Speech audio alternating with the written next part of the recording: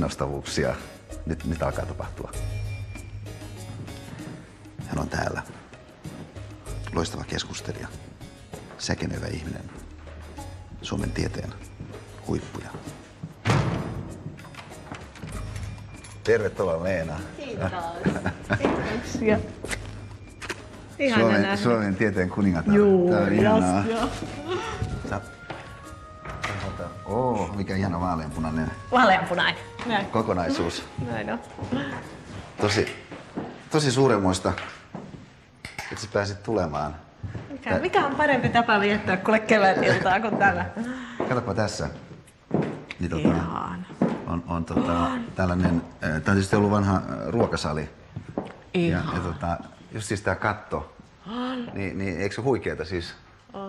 On. Onko Et noin jotkut on- alkuperäiset? No nimenomaan alkuperäiset, ne on ruskeat, Fantastinen. ruskeat maalaukset. Ne paljon sieltä tapettien alta. Ne on osittain tuhoutuneet, koska tässä on tehty, Tietenkin. kato, eh, niin kuin tässäkin, niin tota, pikku remonttia joskus, mutta ja sit sitä ei ole sillä tavalla arvostettu ihana. sitä. Ei. vanhaa, Siis fantastinen. Aivan fantastinen. Mutta ihana osaa täällä. Kato, tässä, Kiva, tota, kiva. Tässä tota, on meidän tämä keskustelu tarkoitus käydä tässä isossa salissa. Mut Okei. mä, jos mä saan näyttää sulle tuon mun työhuoneen. Joo. Mä tässä edellä, kun tässä on Mene. tää reitti. Niin tota... Ja, ja hu- huomaa, että tässä on, tässä on impressiivistä. tuo tärkeitä äh, yksityiskohtia, No kuten niin. tämä raakalauta äh, seinä, joka sekin paljastui sieltä. Alta, Kato, nyt kun näiden vanhojen joo. juttujen alta. Ja sitten, sitten tuota, tämä laatikosto, mikä mä pelastin tuolta yhdestä vanhasta äh, miesten vaatitusliikkeestä, kun tuossa Ekverin vieressä lopetettiin. Ei joo, lopetti. Joo. Niin, niin to, se oli uskomaton kyllä roudaaminen, mutta ne äh, remonttimiehet oli hirveän tyytyväisiä, että tämä pelastui. Tämä oli jo siis äh, Heitetty pois suunnilleen. lavalla, joo. Upea. Ihana. Aivan ihana. Ja sitten vähän lukemista. Vähän lukemista, joo. Ja kato, tämähän on, äh, humanistin etuoikeus on tämä, että, että se voi olla vähän tästä epämääräistä. Että se voi olla katsoa sinne päin ja se voi olla semmoista sinkoilevaa. Että, että tota, tässä ei ole semmoista mitään äh, erityisen, äh, erityisen ryhdikästä äh, systematiikkaa. Että, tota, ja mähän uskon siihen, että kirjat vaikuttaa silloinkin, kun mä en niitä lue. Että et ne vaan antaa semmoisen jonkun Vaikuttaa, joo. viitepisteen. Kato, just tällaista tämä esimerkiksi. Tätä mä pidän tässä koko ajan näytteellä, kun on musta se niin raju. infiltroituu tämä tieto. Joo, joo, joo, joo, joo, kato, kato siis, tällä, siis eh, Shakespeare, The Invention of the Human, siis eh, ihmisyyden keksiminen. Keksiminen. Niin, niin tota, koska tämähän muistuttaa siitä, että se on ehkä käynnissä edelleenkin. Mm, ja, ja, tota, ja sitten tämähän on mahdoton kirja lukea, että, että en mä lukenut tätä kuin sieltä täältä. Mutta se antaa semmoista Upea. tiettyä sytyke, sytykettä. Mutta tota, sa, saan pyytää sut. Tää, tää on muuten mun... Sen on joku selvästi lahjoittanut. Niin, niin silloin kato, kun täällä on äh, muistikuvia näistä, äh, näistä neljäleistä, kun tänne on kertynyt. Mutta mm. tämä nimenomainen tuoli, niin on kuule mun äh, väitöskirja tekotuoli. Ja, Ihan ja, totta. Joo, joo. Ja sitten tota... Siis sä oot tällä tehnyt väitöskirjassa. Joo, joo kyllä. Ja, ja, ja sitä se oli mun, mun rakkaalla äidillä, joka oli Niin. tuolla Hyvinkään villatehtaalla konttorista. Se oli itse asiassa hänen perujaan sieltä. Just joo. Niin, niin, tota, Arvokas tuolla istua Joo. Mutta kuule, tota, kun sä oot supertiedennainen ja, ja tietysti tieteen tekemiseen liittyy semmoisia käsityksiä, mitä ulkopuolinen automaattisesti ei sillä tavalla täysin sisäistä tai täysin välttämättä täydesmitassa eh, tajua. Niin yksihän tällainen aika tärkeä teema tieteentekijöille itselleen niin on innostus. Niin voitaisiko siitä aloittaa Joo. meidän keskustelu siis syttymisestä, sytyttävyydestä, innostuksesta ja sen roolista tieteen tekemisessä ehkä laajemmaltikin luovassa Joo. prosessissa. Joo. Mähän uskon itse tietysti siihen, että tämmöinen niin kuin, tiedätkö, pelkkä pieni kipinöinti ei riitä, vaan pitäisi olla enemmän. Pitäisi olla hehkua ja tulta. Ja hehkua ei oikein riitä, kun pitäisi olla ihan tulta ja sillä kiuhalla, että palaa karvelle. Että mun usko siihen, että se semmoinen luovuusprosessi sisältää semmoista, no, miten mä sanon, se omien rajojen ylitulemista tai ainakin vilpitöntä yrittämistä siihen koko ajan, niin kyllä mä siihen uskon, että sieltä lähtee tämä innostus ja hehku ja, ja se on se, millä niin kun, sanotaan nyt muut ihmiset tulee sitten mukaan. Se on semmoista tietynlaista pysyvää paloa, voiko näin sanoa? Voi, mutta tietysti siinä on se, että kaikki myös tiedämme, että, että pysyvyys rakentuu niistä ajoittaisten romahduksen välisistä jaksoista, jolloin tämä hehku jaksaa niin kuin hehkua. Et eihän se on ihan selvä, se on osa ihmisyyttä, että siitä ei se ole niin kuin aina pystyssä. Mutta kyllä. Mut, mut kun, kun sä johdat tutkijaryhmää, mm. niin ajatteleeko tätä teemaa erityisesti siis johtajuushaasteena, siis innostuksen ylläpitämistä ja Joo. synnyttämistä? Joo. Musta niin kuin ainoa tehtävä oikeastaan tai tärkein ainakin, joka tämmöisen luovan porukan vetäjällä on, tämä, on tämä, että muistuttaa siitä taivasvisiosta. Että, että se on siellä. Jos sä mietit, mistä niin kuin luovuus lähtee, niin eihän se ole kuin semmoista, niin kuin, jos sä sanot, että hehku on koko ajan tai pitää olla jatkuva niin. palo, niin eikö se ole kuitenkin vaan sitä, että se on semmoista niin kuin jatkuvaa, päättymätöntä itsensä vaivaamista tavallaan, että, että tekee se efforti, että tämä niin kuin taivaskuva välittyy ja semmoista uskomatonta jotenkin sinnikkyyttä tai luottamusta siihen, että ihme tapahtuu niin epätodennäköiseltä kuin se tuntuisikin. Juuri näin. Siis se, sehän on tietysti niin kuin pyrkimystä kohti semmoista, mikä ei vielä ole.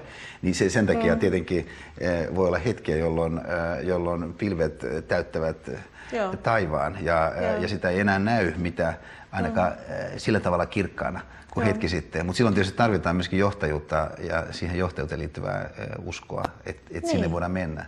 Ja semmoista sinnikkyyttä, että mä penään sitä, kun nämä kaikki luovuuskonseptit on vähän tämmöisiä, että, että rentoudutaan ja on kivaa ja mm. tehdään. Sekin on osa sitä, mutta se elementti ei tule mukaan, jos sä, et niin kun, jos sä annat periksi. Kyllähän siihen liittyy se sinnikkyyden ja itsensä vaivaamisen Kyllä. elementti. Ei se, ei se synny tosta vaan, että, sitten sit kun se lentää, sittenhän siihen se liittyy se vapautuminen ja e, ihmisiä ei voi pakottaa. Ja, mutta tietty sinnikkyyselementti on tämä mun taivasusko. Juuri, juuri. Mm. Siis se, e, e, ehkä voi sanoakin, tai mä yritän sanoa näin, että et, et, tota, kun mä ajattelin ennakkoon, että mitkä olisi ehkä siis sellaisia keskeisiä asioita tieteellisessä luovuudessa, mitkä ulkopuolisesti sillä tavalla täysin ei paljastu mm. automaattisesti, niin toinen olisi ollut tämä innostuksen merkitys. Mutta toinen on kyllä juuri tämmöinen pitkäjänteinen, siis ihan mm. siis työ, siis sellainen va- va- valtavat pitkät päivät, eh, jolloin mm. ihminen vain painaa päälle.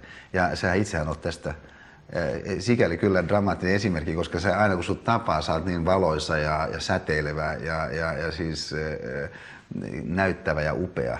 Mutta tiedossa on, että kuinka, äh, kuinka paljon sä siis painat siis duunia niin, mä luulen, että mä en... Ehkä mä en ole myös ihan semmoinen siinä mielessä luova lahjakkuus, joka saa tämmöisiä suuria ajatuksia ja kykenee tuottamaan semmoisia suuria uusia oivalluksia, ellei siellä ole massiivinen määrä semmoista perustietoa, joka on kerätty aika pienistä sirreistä sinnikkään itsepäisesti ja hullulla lailla uskoen, että niistä loput syntyy se kokonaisuus. Et sehän on genetiikan myös se peruselementti, että siellähän geneettinen totuushan on semmoista neljän kirjaimen uudenlaista toistoa, jaksoa, joka yhä uudelleen tulkitaan eri tavalla. Et sehän on se perusviestihän on aika pitkästyttävä, jos sä puhtaasti niin. katsot sitä näin ihan vaan, että mitä siellä oikeastaan lukee siellä Mutta mut mikä sitten on se, se iso unelma, mikä siinä sitä ponnistelua siivittää? No kyllä se varmasti on niin kuin ihan tämmöisistä narsistisista lähtökohdista, niin onhan se tämmöinen, että jättää jäljen tekee ehkä enemmän kuin mihin kyvyt riittää. Ylittää rajansa. Se on varmasti se ykköspointti. Ja sitten toinen, mikä, jos sä kysyt, mikä mua henkilökohtaisesti niin kuin drivaa, niin kyllähän se on tämä illuusio siitä, että sä näet jotain, jota kukaan ennen sua ei ole mm. nähnyt. Ja kolmas on sitten äh, kuolemattomuusaspekti siinä mielessä, että sä teet koko ajan työtä niin kuin uuden tutkijasukupolven kanssa. Et ihan samalla lailla kuin joku lapset on päivittäinen ihme, niin vähintään yhtä suuri ihme on tämä viidestä kuuteen vuotta, kun sä teet ihan tämmöisen junnututkijan kanssa töitä ja sitten sä yhtäkkiä oivallat, että tämä on niin kuin älykkäämpi, osaavampi, fiksumpi, luovempi kuin mitä sä olit koskaan, niin sehän on se taivasnäky, niin kuin henkilökohtainen taivasnäky, ja se on luksus tässä ammatissa, että se toistuu. Juuri. Se tavallaan, niin kun, se, jos mulla on yksi suoritus elämässäni, josta mä, josta mä oon ylpeä, niin mä oon aiheuttanut 53 väitöskirjaa. Eli tämä paraati näitä nuoria, joita Joo. mä oon niin saanut seurata Joo. niin kuin siinä kasvuprosessissa, joiden kanssa mä oon riidellyt, joita mä oon ahdistanut, joita mä oon pakottanut niin kuin Joo. tekemään töitä. Ja sitten lopulta, kun sä näet, kun se homma lentää, niin sehän on uskomaton elämys. Se on joka kerta ihme. Mutta toihan on valtava siis ihan lukemana.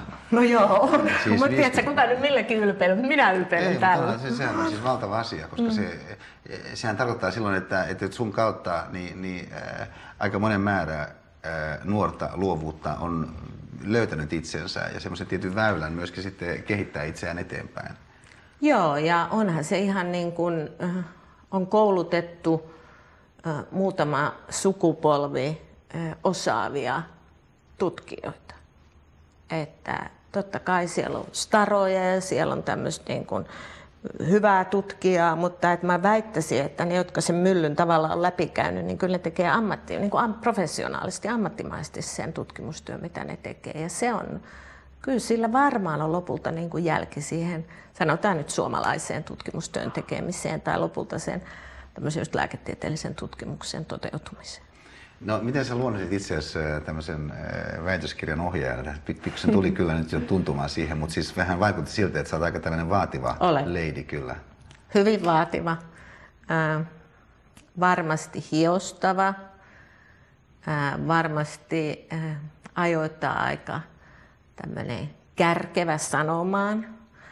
Niin kuin tiedät, tämä, tämä hommahan on vähän niin kuin äityys, että harvoin on semmoinen olo, että todella onnistuu. Että, että sun pitää niin kuin olla vaan taas se semmoinen sinnikäs ja se usko siitä, että homma lentää. Ja, ja mullahan on tämmöisiä kasvuikäisiä vielä monet, kun ne aloittaa. Siis näähän aloittaa nämä Suurin osa näistä geenitutkijoista aloittaa, kun ne on hädintuskin kaksikymppisiä, niin tehdä sitä kirjaa. Sulla on kokemusta näistä nuorista väitöskirjatekijöistä. Ja, ja monihan niin kuin, tulee ekaan elämänsä työpaikkaa ja opettelee perusasioita. Että ovella sanotaan päivää, kun aamu on, ja, tai huomenta, kun on aamu, ja tullaan sisään. Ja, niin kuin, nämä ihan perusasiat. Ja sitten osa on kehittyy aivan uskomattomiksi osaajiksi siinä mitä se nyt kestää, viitisen vuotta keskimäärin. Mä itsehän olen aika tämmöinen hellävarainen.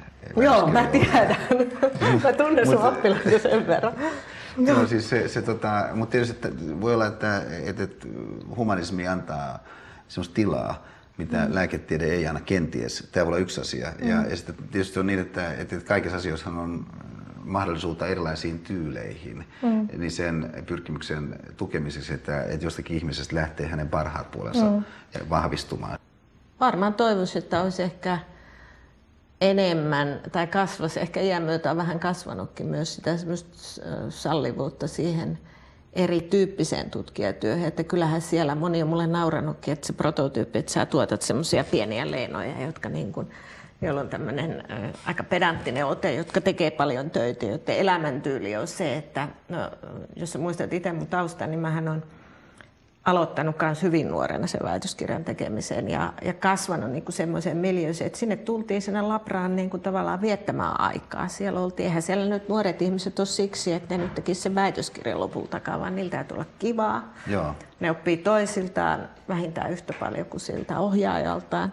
Eli se, että siellä Se on on porukka. Niin, se on elämänmuoto ja sitten sä opit sen elämänmuodon ja niin kuin mäkään en ole päässyt edes oikein irti siitä vieläkään. Eli että sinne on niin kuin kiva mennä, se on tapa elää. Ei se on niin kuin, mä en halua sanoa, että mä rakastan semmoista työn orjuutta, vaan se on vaan niin kuin, että sä sytyt siihen sit sä et huomaa, että Justiin, nyt taas justiin. vietettiin aikaa. Mikä on sitten dialogin osuus tässä, ihmisten välisen keskustelun osuus? Kuvaa vähän sitä, tavallaan sitä inhimillistä ulottuvuutta. Mikä Se on tämmöisessä- hirveän tärkeä. Että sen näkee jo, että mun vanha viisas e, e, oman väitöskirjan ihan tukipilari Kari koulussa, niin hänen salaisuus oli se, että hän pani tyypillisesti joka projektiin niin kuin kaksi väitöskirjan tekijää, niin että ne aloitti ne pienet tehdä sitä yhdessä. Ja sitten se loppuvaiheessa vasta irtautulo vähän pidemmälle edetessä irtautettiin nämä kaksi toisistaan. Eli, eli varsinkin tämmöinen ihan nuori aloitteleva tutkija, varsinkin